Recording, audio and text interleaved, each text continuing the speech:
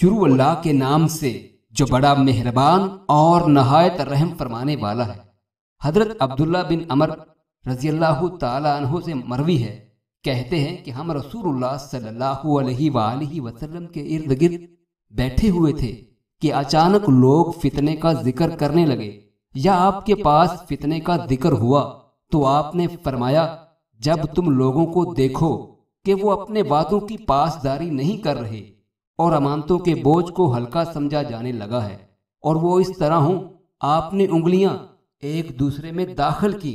हज़रत अब्दुल्ला बिन अमर कहते हैं कि मैं आपकी तरफ़ आया और आपसे कहा, उस वक़्त मैं क्या करूँ? अल्लाह मुझे आप पर कुर्बान करे। आपने फरमाया, अपने घर को लाजम कर लो, यानी ज़्यादातर अपने घर में रहा करो। अपनी जबान रोके रखो, नेकी को इख्तियार करो और बुराई को छोड़ दो। और अपना खास मामला ज़रूरी समझो और आम लोगों के मामलात को छोड़ दो।